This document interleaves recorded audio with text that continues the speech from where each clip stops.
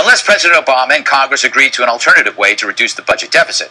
So will they strike a deal? Joining us now from LA, Ben Stein, the author of the book How to Really Ruin Your Financial Life and Portfolio. That's an upbeat title. Ben, uh, first off, if we go up the fiscal cliff, what happens? Will I have to sell all my unicorn Hummels?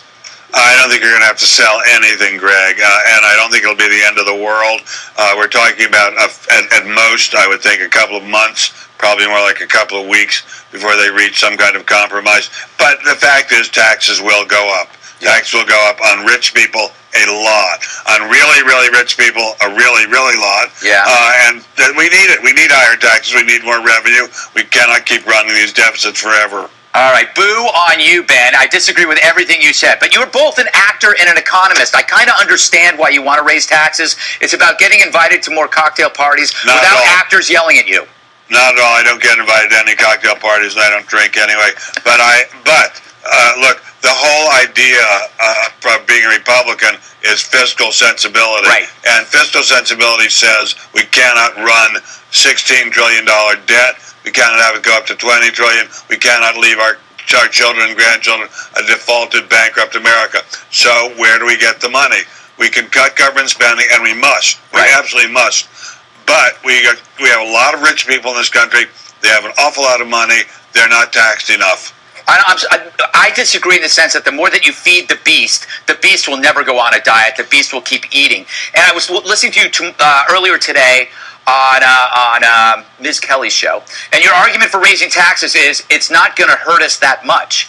Is that really a good argument for raising taxes? I mean, that's I not, don't. go- I don't think it's going to hurt us at all compared with continuing to run these huge deficits. Obviously, if I thought it was better to keep running these huge deficits, I would say do that. But we had year after year in the Bush administration and in the Obama administration in which we said taxes uh, don't have to go up, uh, deficits don't matter. Yeah. It turns out they do matter. It turns out that if we go bankrupt, it's going to matter a lot.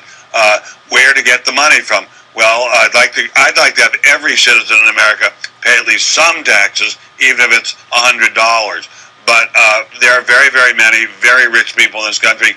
The idea that their taxes are the lowest they've ever been since World War II just doesn't make any sense. Why should their taxes be that low when we have a fiscal emergency? But that to me is not an argument. We've got plenty of revenue coming in. It's about spending. So you can't, but you can't raise.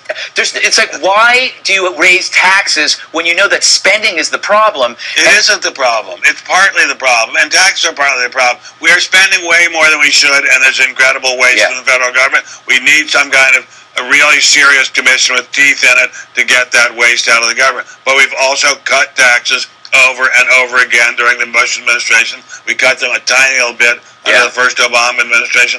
We need more revenue. As Mr. Obama said, I, I'm not a fan of Obama. I think everyone who knows me knows that.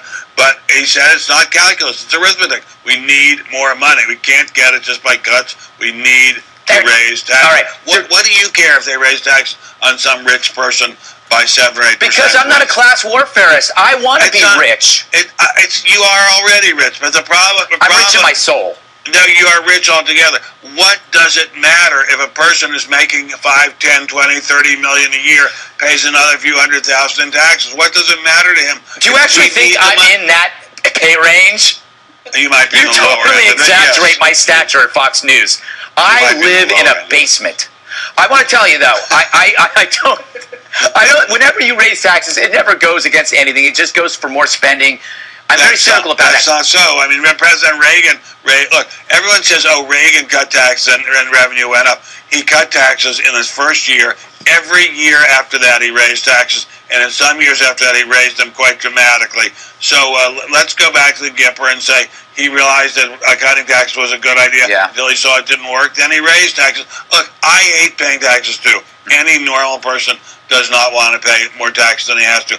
But we need the revenue. We All don't right. want to bequeath our children a bankrupt country. All right, you're a communist. I want to talk now about Hostess, the makers of Twinkies, Ding Dongs, and something called Wonder Bread. Don't know what that is.